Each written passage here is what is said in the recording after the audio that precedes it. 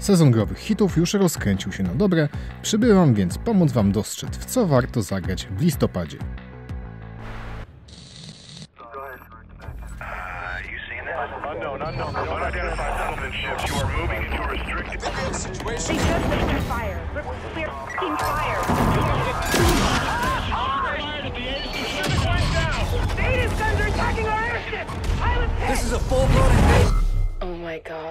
Call of Duty Infinite Warfare. Kolejna odsłona Call of Duty i znów nowoczesne starcia. Patrząc na przyjęcie zwiastunów mam wrażenie, że tej jesieni koronę sieciowych FPS-ów zdobędzie Battlefield 1. Ale o tym przekonamy się dopiero poznając wyniki sprzedaży i reakcje na pełną wersję gry. Ja sprawdzałem betę i dobrze się przy niej bawiłem, ale jakichkolwiek innowacji w serii nie uświadczyłem. A może właśnie tych innowacji oczekują gracze? Zagramy 4 listopada na PlayStation 4, Xbox One i PC.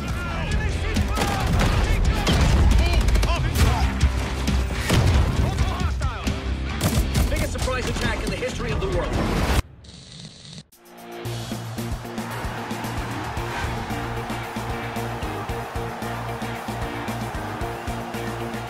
Football Manager 2017. Kolejna odsłona kultowej już serii, nad którą setki godzin spędzają miłośnicy piłki nożnej. Ponownie wcielimy się w rolę menedżera klubu piłkarskiego, przyjdzie nam werbować zawodników, ustalać im plany treningowe oraz prowadzić mecze. Twórcy obiecują sporo i ulepszeń, w tym oczywiście zaktualizowaną bazę klubów i zawodników. Zagramy 4 listopada na PC.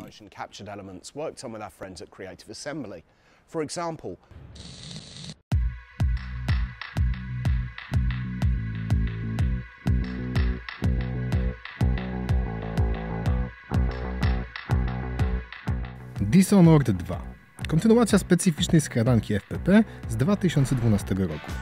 Ponownie zostaniemy przeniesieni do fikcyjnego świata inspirowanego okresem rewolucji przemysłowej i ponownie twórcy uraczą nas elementami steampunka i magii. Akcja gry toczyć się będzie 15 lat po wydarzeniach z jedynki, wcielimy się w Corvo Atano i Emily Caldwin. W kwestii mechanizmów rozgrywki mamy spodziewać się nie rewolucji, a ewolucji i w sumie bardzo dobrze, bo jedynka była naprawdę fajnym tytułem. Zagramy 11 listopada na PlayStation 4, Xbox One i PC.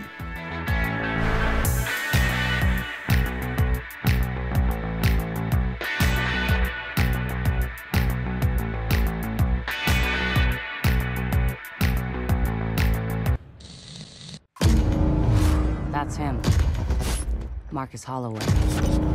Time him. Too late, he's in.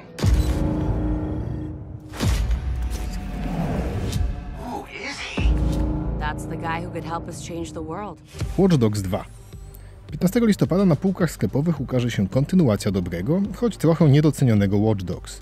Dwójka ponownie rzuci nas w świat hakerów, tym razem jednak z nowym, bardziej wyluzowanym protagonistą, a zamiast smutnego Chicago zwiedzimy weselsze San Francisco, a tak naprawdę całą zatokę. Ja już grałem i bawiłem się naprawdę nieźle, więc jeśli choć trochę podobała Wam się jedynka, dwójka powinna przypaść Wam do gustu. Zagramy 15 listopada na PlayStation 4 i Xbox One, a 29 listopada gra trafi na PC. Rigged elections, weapons programs, spying into people's homes. All of it controlled by one man. Pokémon Moon i Pokémon Sun. Ciekawe jak bardzo Pokémon Go pomogło w promocji nadchodzących Pokémon Moon i Sun. Mam wrażenie, że cały świat znów pokochał Pokémony i twórcy nowej odsłony na 3DS-a zaliczą spektakularny sukces.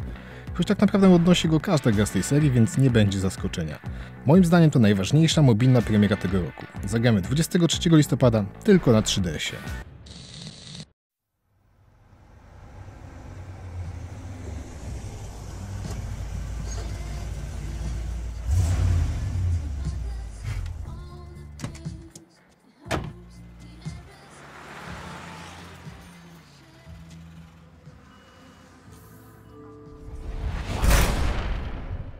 Final Fantasy XV. Nad Final Fantasy XV pracowano około 9 lat. Tytuł został pierwszy raz zaprezentowany w 2006 roku. Oczekiwania są więc ogromne i boję się, że gra im nie sprosta. Jednak czekam, obecna generacja konsol potrzebuje naprawdę dobrego JRPGa. I tak, chcę się wcielić w nowego bohatera, poznać nową opowieść, nawet jeśli technicznie gra nie będzie idealna. No bo przecież to Final Fantasy. Zagramy 29 listopada na PlayStation 4 i Xbox One. Tego zestawienia nie interesuje mnie tak naprawdę tylko Football Manager. Wiem natomiast, że Tomek Opielarczyk straci przy nim setki godzin. A wy co planujecie kupić w listopadzie? Napiszcie proszę w komentarzach i oczywiście subskrybujcie nasz kanał, a my w premierach widzimy się za miesiąc.